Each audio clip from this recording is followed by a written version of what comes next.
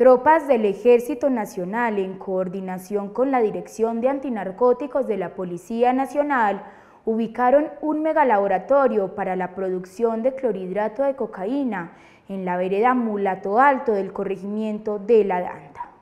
El ejército y la Policía Nacional lograron llegar hasta el lugar, donde sin ser detectados adelantaron la operación que dio como resultado el hallazgo y destrucción de este megalaboratorio. El lugar contaba con una estructura múltiple que era utilizada como laboratorio para el procesamiento de pasta base de coca y posterior fabricación de clorhidrato de cocaína. Allí se hallaron dos torres de destilación, 15 construcciones en madera, dos moldes en acero, una prensa hidráulica de 20 toneladas, tres motobombas, un transformador, refrigerador, una lavadora, una cocina industrial, dos mesas de filtrado, un gusano de 12 cavidades, ocho hornos microondas, una empacadora al vacío, tres cilindros de 40 libras, 60 rollos de cinta transparente, 20 rollos de vinipel. Tropas del Ejército Nacional en coordinación con la Dirección de Antinarcóticos de la Policía Nacional incautaron en zona rural del municipio de Sonsón, Antioquia, un megalaboratorio para la producción de clorhidrato de cocaína.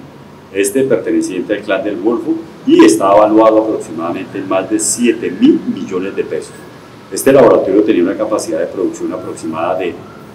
una tonelada de clorhidrato de cocaína.